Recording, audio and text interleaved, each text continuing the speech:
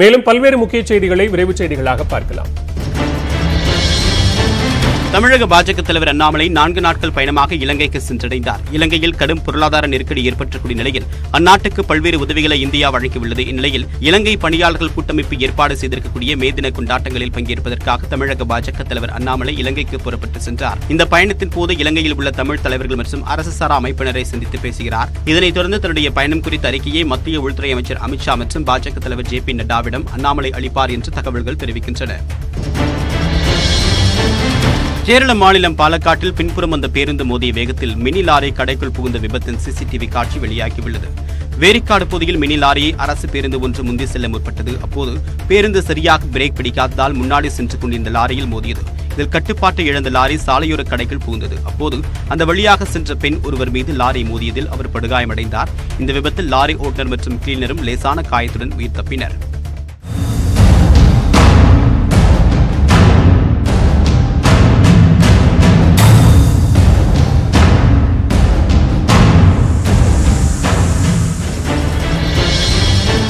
கிருஷ்ணகிரி மாவட்டம் ஓசூரில் சாலையில் சென்று குடிந்த எலக்ட்ரிக் பைக் திடீரென்று தீப்பிடித்து எரிந்தது.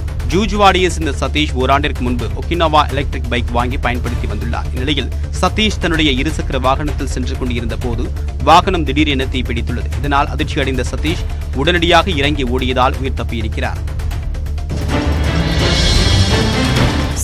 புறநகர் மாவட்ட அதிமுக செயலாளராக இளங்கோவன் அறிவிக்கப்பட்டதற்கு எதிர்ப்பு தெரிவித்து அதிமுக சேலம் கிழக்கு ஒன்றிய செயலாளரான வையாபுரி ராஜினாமா செய்துள்ளார். இதுகுறித்து செய்தியாளர்களிடம் பேசிய சேலம் புறநகர் மாவட்ட அதிமுக செயலாளராக இணை ஒருங்கிணைப்பாளர் எடப்பாடி பழனிசாமிக்கு பதில் இளங்கோவன் அறிவிக்கப்பட்டதை மாவட்ட அதிமுகவினர் விரும்பவில்லை என தெரிவித்துள்ளார். இளங்கோவனுக்கு மாவட்ட செயலாளர் பதவி வழங்கியது அதிமுகவை அழிவு பாதைக்கு கொண்டு செல்லும் என்றும் விமர்சித்துள்ளார். அண்ணன் தான் மாவட்ட செயலாளருங்கிற நம்பிக்கையில் நாங்கள் வரும்போது இப்போ திடீர்னு வந்து இளங்கோ பேர் வெளியிடுறாங்க.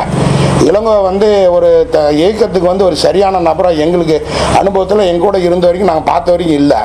அதிமுக கிழக்கு மாவட்டத்தில் ஒரு நாலு தொகுதியில் அழிவுக்கு காரணமே இப்போ இந்த இளங்கோவன் தான். இளங்கோவுக்கு இப்போ வந்து லேட்டஸ்ட்டாக இப்போ ஒரு கெட்ட பேர் என்னென்னா அம்மா கொடநாட்டு வழக்கில் வந்து இருக்காருன்னு சொல்லி மீடியாவும் பொதுமக்களும் பேசிக்கிறாங்க. இந்த காலகட்டத்தில் வந்து இவர் அறிவிக்கிறது வந்து நியாயமானதே கிடையாது. மதுரையில் ஷாப்பிங் முடிந்து தம்பியின் பைக்கில் ஏறப்போன இளம்பெண்ணின் கழுத்தில் இருந்து தாலி செயினை பட்டப்பகலில் மர்ம நபர் பறித்து செல்லும் அதிர்ச்சி காட்சி வெளியாகியுள்ளது. வெங்கடேஸ்வரி என்பவர் காமராஜர் சாலையில் தனது தம்பியுடன் பேசிக் கொண்டிருந்த போது பைக்கில் வந்த இருவரில் ஒருவர் இறங்கி வந்து திடீரென கழுத்தில் இருந்த ஏழரை சவர நகையை பறித்துக் கொண்டு கண்ணுமைக்கும் நேரத்தில் அங்கிருந்து சிட்டாய் பறந்தனர். இது அங்கிருந்த சிசிடிவி கேமராவில் பதிவாகியுள்ளது. சம்பவம் தொடர்பாக தெப்பக்குளம் காவல் நிலையத்தினர் விசாரணை மேற்கொண்டு வருகின்றனர்.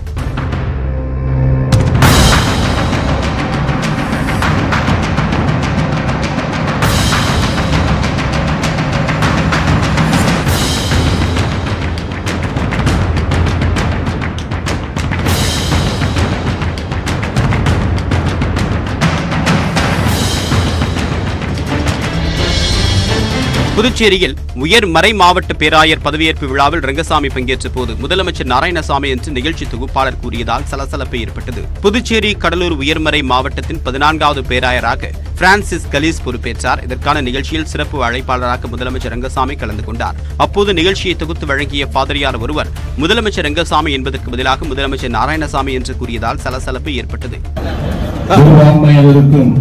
ஏழை எளியவருக்கும் பாதுகாப்பு வழங்கக்கூடியவர்.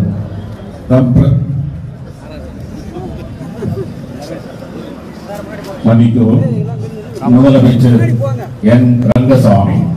மன்னிக்கவும். முதலமைச்சர் என் ரங்கசாமி. வாய் தவறி இதையடுத்து முதலமைச்சர் ரங்கசாமி திடீரென்று எழுந்து புதிதாக பதவியேற்ற பேராயருக்கு சால்வை அணிவித்துவிட்டு விழா மேடையிலிருந்து வெளியேறினார். கன்னியாகுமரியில் கோடை வெயிலின் தாக்கம் தாங்க முடியாத குரங்குகள் குடிநீர் தொட்டியில் குதித்து விளையாடிய காட்சிகள் வெளியாகியுள்ளன. தக்களை அடுத்த பத்மநாபபுரத்தை சேர்ந்த கவுன்சிலர் சிவா என்பவரின் வீட்டின் மாடியில் வைக்கப்பட்டிருக்கூடிய இரண்டு குடிநீர் தொட்டிகளில் மூன்று குரங்குகள் மாறி மாறி குதித்து நீரில் மூழ்கி குளித்து விளையாடி சேட்டை செய்துள்ளன. இதனை அவர் செல்போனில் வீடியோ எடுத்து சமூக வலைதளங்களில் பதிவிட்டுள்ளார்.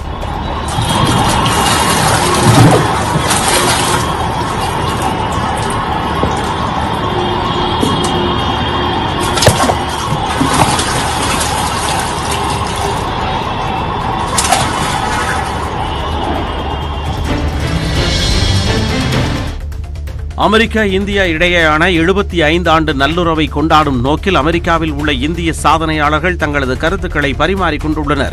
இந்தியாவில் உள்ள அமெரிக்க தூதரகம் தனது எழுபத்தி ஐந்தாவது ஆண்டு விழா கொண்டாட்டங்களையொட்டி நாடு முழுவதும் பல்வேறு நிகழ்ச்சிகளை நடத்த திட்டமிட்டுள்ளது. இதையொட்டி கடந்த எழுபத்தி ஐந்து ஆண்டுகளில் அமெரிக்காவில் உள்ள இந்தியர்களின் குறிப்பிடத்தக்க பங்களிப்பை பிரதிபலிக்கும் வகையில் வீடியோ வெளியாகியுள்ளது. அதில் அமெரிக்காவில் உள்ள ஆளுமை மிக்க இந்திய வம்சாவளிகள் மற்றும் அமெரிக்கா வாழ் இந்தியர்கள் பங்கேற்றுள்ளனர். அதன்படி டென்னிஸ் வீரர் அசோக் அமிர்தராஜ் தபேலா வித்வான் ஜாகிர் ஹுசேன் நடிகை பிரியங்கா சோப்ரா பெப்சிகோ நிறுவன முன்னாள் தலைமை செயல் அதிகாரி இந்திரா நூயி உள்ளிட்டோர் தங்களது கருத்துக்களை பரிமாறிக் கொள்கின்றனர் ராணுவ தளபதி பதவிக்காலத்தை நிறைவு செய்ய உள்ளதை முன்னிட்டு எம் எம் நரவானே டெல்லியில் உள்ள தேசிய போர் நினைவிடத்தில் மலர் வளையம் வைத்து மரியாதை செலுத்தினார். அதனைத் தொடர்ந்து வெளியுறவு அமைச்சக அலுவலகம் அமைந்துள்ள சவுத் பிளாக் பகுதியில் நடைபெற்ற ராணுவ வீரர்களின் அணிவகுப்பு மரியாதையை நரவானே ஏற்றார். பின்பு ராணுவத்தின் மூத்த அதிகாரிகளுடன் புகைப்படமும் எடுத்துக் கொண்டார்.